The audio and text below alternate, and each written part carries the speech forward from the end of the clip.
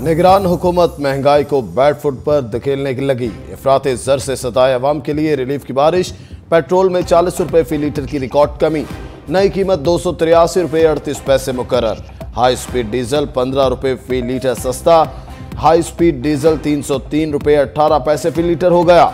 Light diesel का rate उन्नीस रुपये फ़ी लीटर गिर गया। बड़ा रिलीफ मिलने पर अवाम ने हुकूमत को क्रेडिट दिया।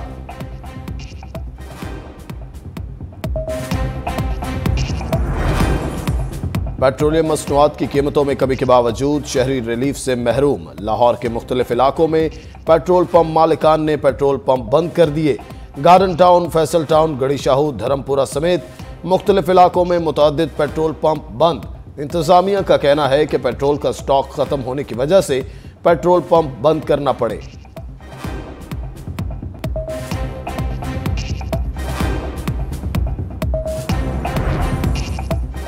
कराची के मुख्तलिफ़ इलाकों में मट्टी का तूफ़ान, गुडाब, सफोर और काठोर में बूंदाबांदी।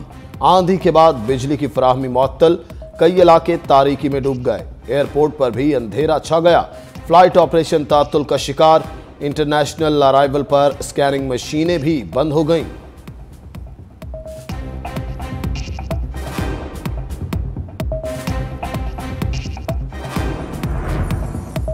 कराची में खौफनाक तूफ़ान निजी एयरलाइन का तैयारा हादसे से बाल बाल बच गया।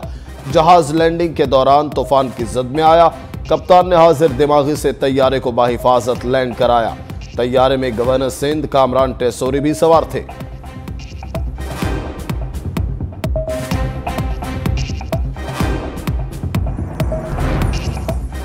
हमजा शहबाज के चेयरमैन तहरीक इंसाफ पर लफ्जीवार कसूर में जलसे से खिताब में कहा, चेयरमैन पीटीआई कहता था खुदकुशी कर लूँगा, मगर आईएमएफ के पास नहीं जाऊँगा।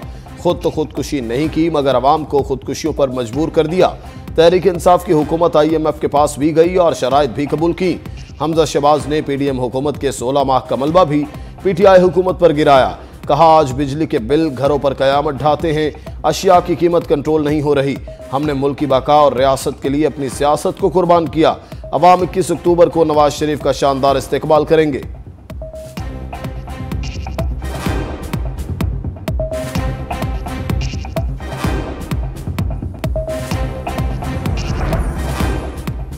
नवाज़ शरीफ को कोई सरकारी प्रोटोकॉल नहीं मिला। निगरान वज़ीर इतलात मुर्तजा सोलंगी की वजाहत, कहा, हमारे हाई कमिश्नर तमाम पाकिस्तानियों के लिए हैं। उन पर गुस्सा मुनासिब नहीं। सबक वज़ीर अजम अदालतों की रजामंदी से गए। जेल की दीवारें तोड़कर नहीं।